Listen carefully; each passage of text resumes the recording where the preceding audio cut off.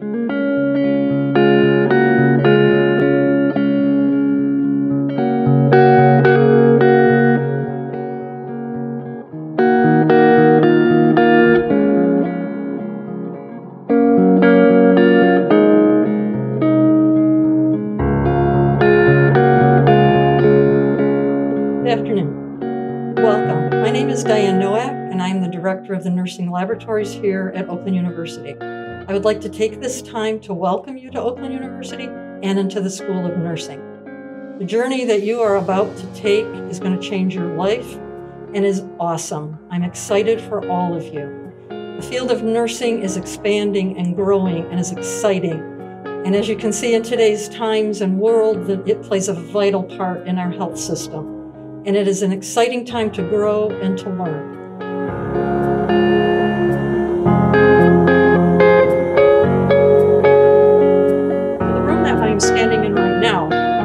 Our health assessment lab in the Human Health building. This room is kind of set up like a doctor's office or a clinic. And what we teach here and what we learn here is health assessment. Now, under normal circumstances, we are examining one another.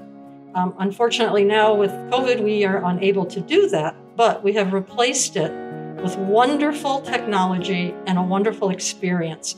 So the students, after they leave this class, have a very good understanding and a good command of health assessment. You see on the walls, the equipment is there just like you would find in a doctor's office. Um, so we tailor our education in this room to the level in which you are. This class in here takes place for undergraduates in the first semester of their sophomore year. And that is where your first nursing classes, physical assessment, and so forth will start to take place.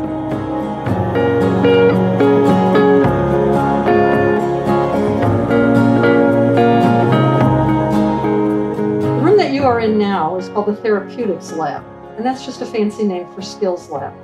This is where students come in in their sophomore year, second semester, and they learn the basic skills that a nurse will take with them throughout their entire career.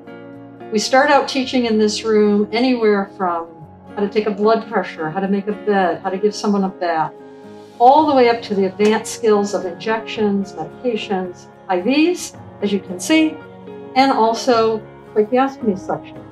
So the more advanced skills, but these are skills that a nurse will use for her or his entire career. So it all starts as a fundamental class in this lab.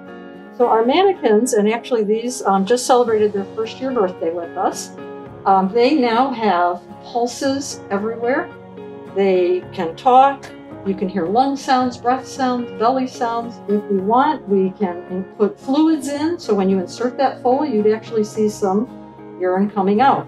So they're pretty advanced. Other things that we do in this room is we have what's called an open lab. An open lab is a time that we offer the students a couple times a week to come in and practice whatever they want to practice.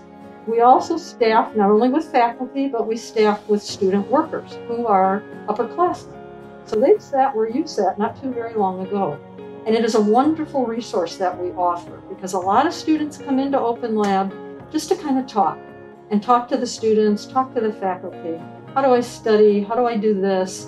Help me to be organized. And it's a real benefit to the students that we offer.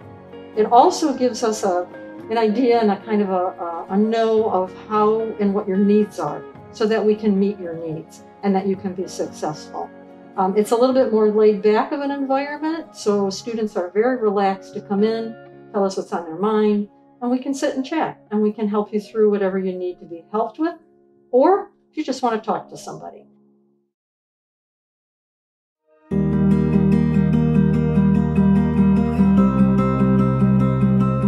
Welcome to the Simulation Lab. This is truly the crown jewel in the School of Nursing of all the laboratories, and we're very, very proud of it.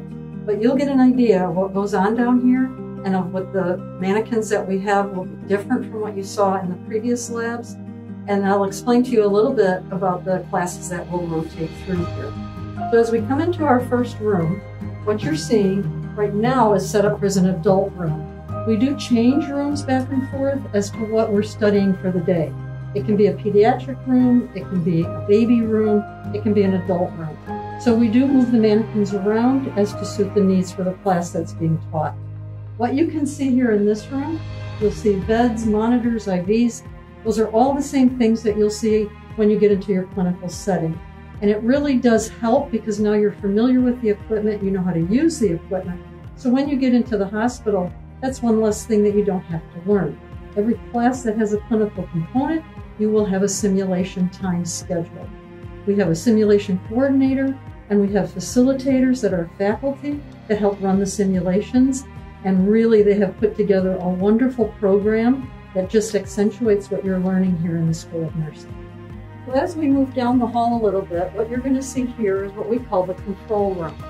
And the control room allows for the facilitator to watch what's going on in the simulation rooms.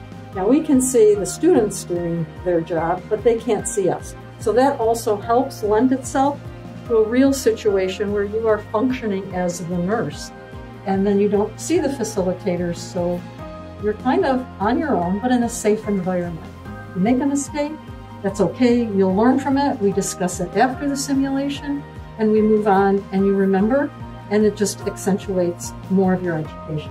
As we come into this room here right now, it's not being used at this time because again of our COVID regulations, but you can see we have babies and bassinets. We have a brand new sim baby here in the crib. And this new baby, um, we got her about a year ago. And what's cool about her is all the computer parts are inside. So there's no wires, there's nothing hanging out. It's just really a, a wonderful piece of equipment and very high tech and up to date. And again, it is set up because the last simulation that we did had to do with adults.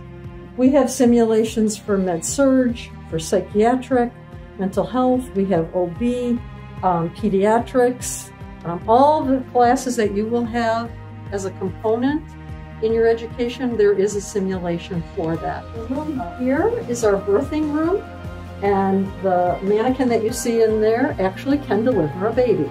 And what's cool about this is um, we can deliver her naturally or we can do a C-section. What they like about this room and what's really fascinating is when you're in OB, there are things that can go really wrong and can go bad. Fortunately, we don't see them that often, but we simulate them here. So when you are in the hospital and if by chance you happen to see something like a hemorrhage or a bad delivery, you will have already seen it here. The last room that we want to show you here is our NICU or our NICU. We have a preemie baby, we have an isolette with the baby. The Pyxis machine here is a machine that we use um, to dispense medicine. It gives you still the experience of what it's going to be like when you get out there to go and get your medications from the storage machine that are on all the units. In this room, is where a lot of the education takes place. Debriefing is like the best part of simulation because what you do is you talk about your experience. You learn from it. Students are very active in the debriefing and they are guided by a simulator facilitator and you just talk about the experience. And that really helps you to pull it all together to learn maybe where you made mistakes, where you didn't make mistakes, the whole thing about simulation is a very safe environment. Every course now has simulation, so you're going to spend a lot of time down here once you get into that sophomore year. It's just a wonderful place to learn, um, and hopefully maybe someday you'll be a lab assistant and help us out working in the lab.